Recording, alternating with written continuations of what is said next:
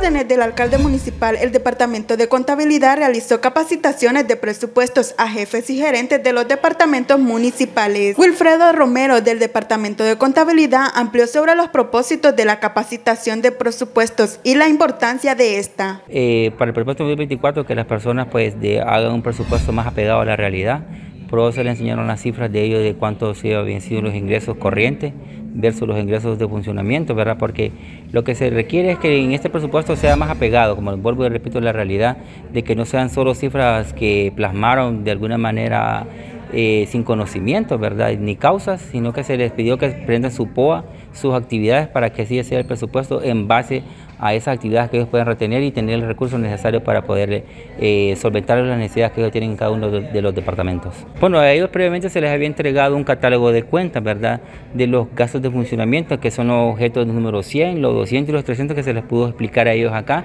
También se les dio la ejecución del presupuesto que correspondía de enero al 31 al 30 de junio, ¿verdad? Del 2023, para que ellos vayan viendo su ejecución y en base a eso, la ejecución que ellos tienen ah, de estos meses anteriores más la explicación que se les dio a ellos acá, creo que llevaron un conocimiento en, general, ¿verdad?, de cómo pueden ellos elaborar este presupuesto para el 2024. La verdad que era necesaria la capacitación, porque si ustedes pudieron ver, no solo se trató de, la parte de ingresos, sino también de la parte de ingresos.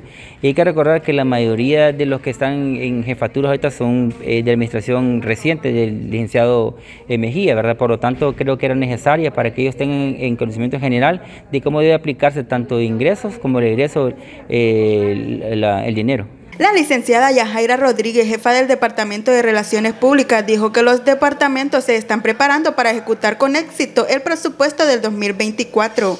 Asimismo, mencionó que el edil cholomeño Gustavo Mejía se enfoca en capacitar a todo su equipo de trabajo. Así es, agradecer a la gerencia de finanzas, ¿verdad? Y a la encargada del presupuesto que este día nos está eh, implementando lo que es esta capacitación para poder llevar a cabo el presupuesto 2024.